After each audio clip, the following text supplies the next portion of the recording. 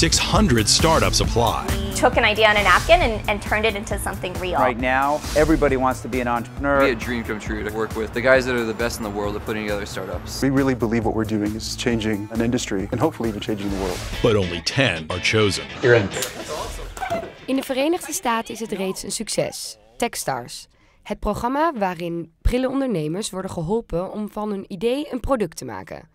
Ruud Hendricks heeft dit idee naar Nederland gebracht en begint dit jaar met Startup Bootcamp Amsterdam.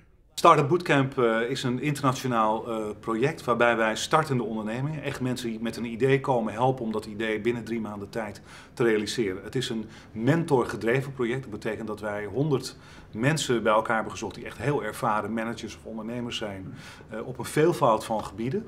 Die uitleggen aan die start-ups hoe ze bepaalde dingen het beste kunnen doen. Die mentoren krijgen daar niet voor betaald. De Amerikaanse variant van Startup Bootcamp, Techstars, begon in Boulder, Colorado. Daar zaten een paar heel geslaagde ondernemers die uh, vonden dat ze iets terug moesten doen voor de stad. Maar zeiden van, we gaan niet zomaar een bedrag geven.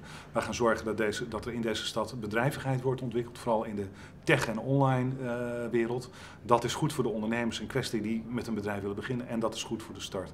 En nou, dus uh, dat hebben ze gedaan. Inmiddels in zes steden in de Verenigde Staten. In Boulder, in Seattle, San Francisco, New York, Boston en eentje die ik vergeten ben. En daar hebben ze in de afgelopen zes jaar in totaal 120 ondernemingen opgezet. En daarvan bestaan er nog 114. Maar wat is de deal voor ondernemers?